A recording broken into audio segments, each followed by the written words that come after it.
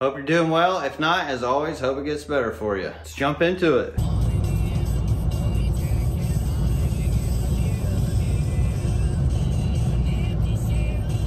collecting corridor is pretty neat. Regina and I, back in the, in the we took this little dirt, barely flowing stream of water. Uh, right behind where Ian is standing, right here, there was a, a probably, I put a little note, did a 50% water change yesterday, for storm day before, to make a little mental bread. People, I mean, you know, you, you pay $250 for a fish and you got a group of 10 of them, you got $2,500. And I'm like, do I really want to drop this out of fourth? Yeah, I'm crazy that I ain't that. And the, feet, the males are narrower and the males have longer pectoral spines on them. Um, that's the best way of telling on fish that are close to being adult size. The pelvic fins now, males more color enhanced and the females kind of a little bit washed out. Diet for these guys, I already mentioned here a little bit ago that it's mostly a meat diet. Number one food for conditioning for breeding is blackworms. To them. You don't want to float them. So what you do is you grab a couple cubes in, the in your fingers, put them in the tank, squeeze them, kind of roll them a quick second, squeeze them in a different direction. Do that two or three times. Take them out of the water and continue to roll them around in your fingers or use, use you know, two sets of fingers to kind of squeeze all the water out of it.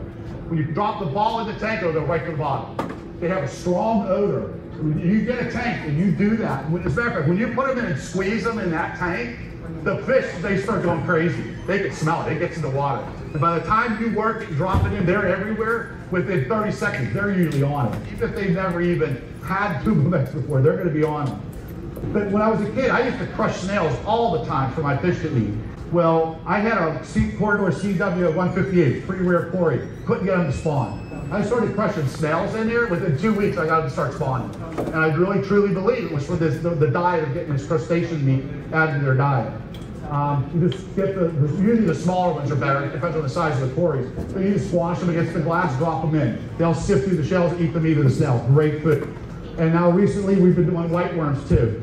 We tried it for years. You got to do a wine puller. Just put bread in there, water. I don't even use milk. It files them quicker. And you can grow white ones. It's pretty easy. I use a variety of the meat foods. And again, pellets. If you look at this, it's all earthworms and uh, and uh, krill sticks and biformos, a little bit of.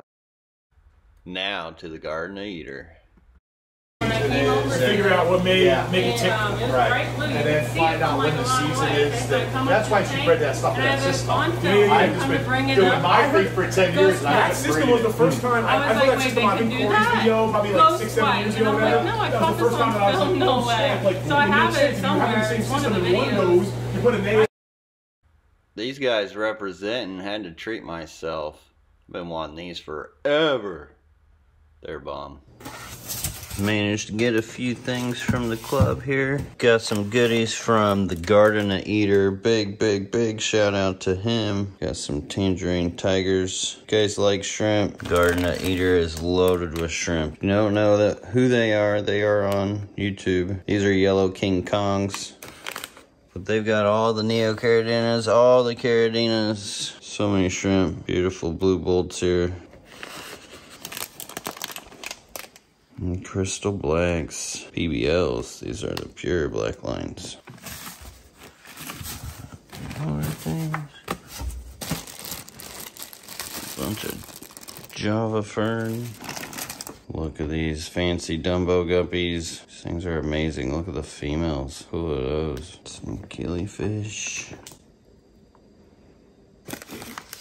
Pachypanchax. Some of you guys may know the player fair, play Fair Eye. These are the sakaramyi. I got a couple of those.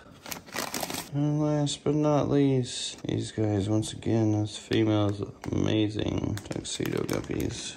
The Dalmatian toes, those are gorgeous. Plant for Sarah.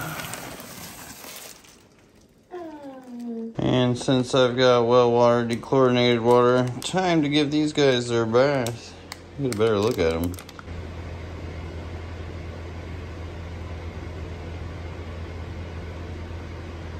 Nice and clean.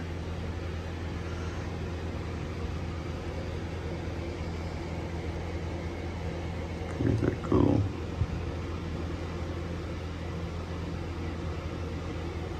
Now, time to quarantine.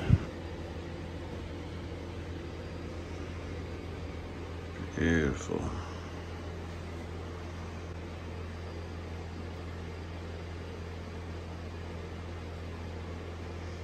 Yeah, this is why I drive two hours for fish. Cause man, look at that. Iridescence on them. I didn't notice that at first. Get the light on them just right. See a lot of that iridescence coming out. Flashing as that tail waggles. That is really cool. Oh, beautiful. Those are magical.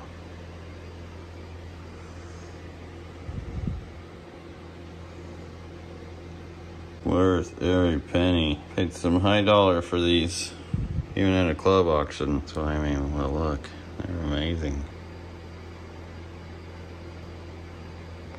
Here's the fundulus chrysotus. See the little red on the fin there? The golden ear killie. See more of the patterning red. Speckle, shiny speckles. Come on guys, these guys are not showing. Cool killie. And as far as the Apache Panchecs, sakaramyi, these guys are still pretty small. I haven't just seen much out of them yet. These are great for those guys who love those unique bat points. Here are the tangerine tigers. These things are legit. Look at the color on them. Beautiful shrimp. King Kong, which these are a really cool line. Grant has selectively bred these to where they'll throw really patterns, which is rare for a Caridina species. Really neat. But these are all solid. Here's a blue. There's a bunch of blue bolts. How blue those are. Wanted these for a long time. Thank you, thank you, thank you. Garden Eder. They have a house that is a lot like my old house. They actually have more tanks in their house now than had at my old house. And last but not least, PBLs, pure black line, Caridina bees. Love these things like little shrimp cows. Thanks again, Garden Eder. What do you think, Christmas? You like them? New water ball? And I am working on a new quarantine section. These used to be over there. And this rack's gonna be sweet. It's gonna have bells and whistles. Hopefully push button water change system. I gotta, it's gonna take time to build, but it's gonna be sweet. Gotta do some plumbing.